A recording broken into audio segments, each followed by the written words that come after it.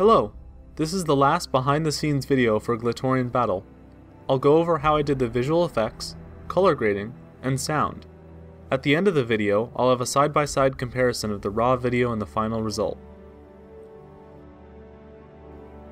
In the filming of this video, I used these clips to help stabilize Bionicles or have objects fly through the air. They were useful, but need to be removed afterwards. Doing this is pretty simple. First, you need to make sure you have an image of the background with nothing in it. In this shot, for example, I would take two pictures for each frame, one with the Thornax ball being held up by a clip, and one with just the Bionicle. Sometimes, like in this shot, you can just get away with using a frame from earlier on. Next, you take your animation and cut out the clip frame by frame.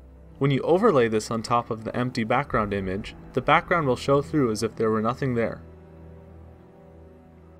For things that were flying fast through the air, I also added some motion blur to sell the fast motion.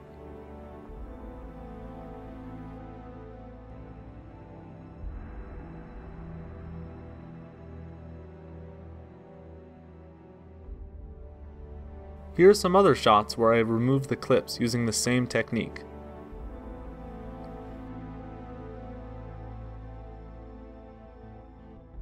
Another common effect I had to do was set extensions. In a lot of shots, it was pretty simple. I just copy and pasted bits of the surrounding image to fill in the frame. Other shots were more complicated. For the first shot of the video, I had to duplicate and mirror large portions of the existing image. In this shot, I used a blue screen so that I could fill in the background with an image I made in photo editing software. I'm not very skilled in photo editing software, so the background doesn't look very realistic on its own, but it's hard to tell since the shot lasts for such a short period of time. I mentioned before how I added some camera movement with a LEGO rig, and also from manually moving my camera on the tripod head, but I only used it for a few shots, so I also added some digital camera movement and camera shake. I just zoomed in a little bit and panned across the frame to follow the action. I also added some random movement to simulate camera shake, like in this shot.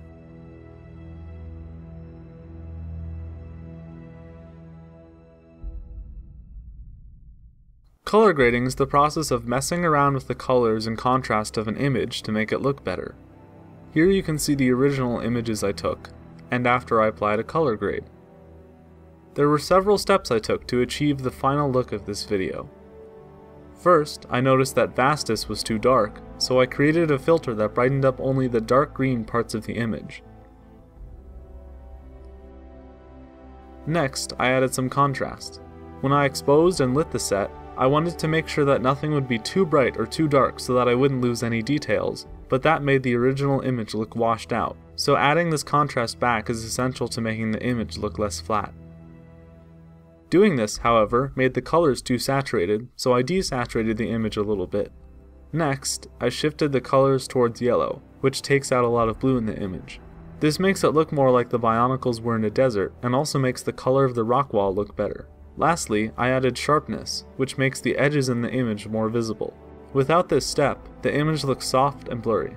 All of these steps add together to make a better final image.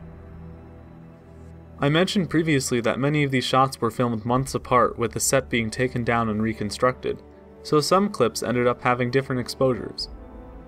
To fix this, I applied a slightly different grade to different sections of the video to match the brightness and contrast across the whole video. I also added another filter when Ackar picked up the Thornax ball. I used blue tack to keep the ball attached to his hand, so to make the blue color less noticeable, I shifted it to gray to match the color of Ackar's hand. I used a similar filter when I brightened up only the dark green parts of the image earlier. For this video, I recorded most of the sound effects myself. To make the sword sound effects, I just got pieces of metal from the garage and banged them together in a bunch of different ways.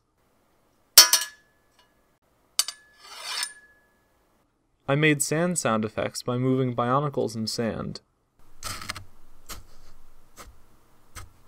and I made some swooshes by swinging a plastic sword in front of the microphone.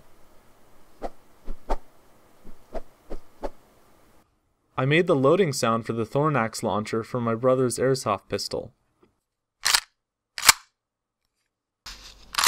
I also got some sound effects off the internet from websites like findsounds.com or soundsnap.com. These included the gunshot sound effects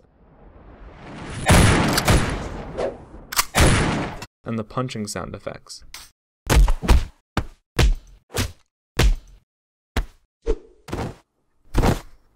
To make sound effects seem more realistic, it is always a good idea to layer multiple sound effects. Let's look at this clip for example. Instead of having just one sword hit sound effect, I layered six onto each other.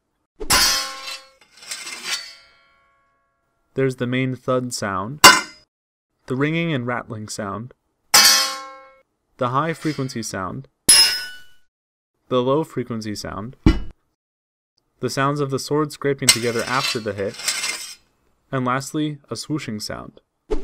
Combining these together gives a much more powerful sword hit. Layering sound effects requires a lot of work, but gives great results.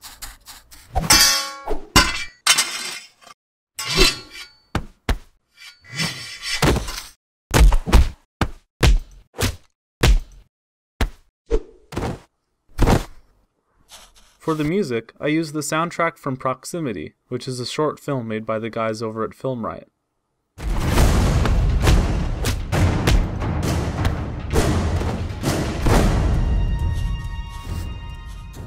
When you're finding music for your videos, it is important to make sure that it is not copyrighted, because dealing with copyright violations on YouTube is a really big pain. I was lucky to find the soundtrack to Proximity because they said anyone could use the music in their own non commercial videos if they bought it from their website, which ended up being about $8. If you're looking for music, I would also recommend YouTube's library of music, which is all free and open for use, or incompetech.com, which also has a ton of free and open music. Sound is actually one of the most important aspects of a video, Bad sound can make videos hard to watch, but having great sound can make videos exciting and engaging, even if the video quality isn't great. That's everything I have to say about the making of this video. Now I'm going to play the raw, unprocessed video without music alongside the finished video. Feel free to ask any questions in the comments. Thanks for watching.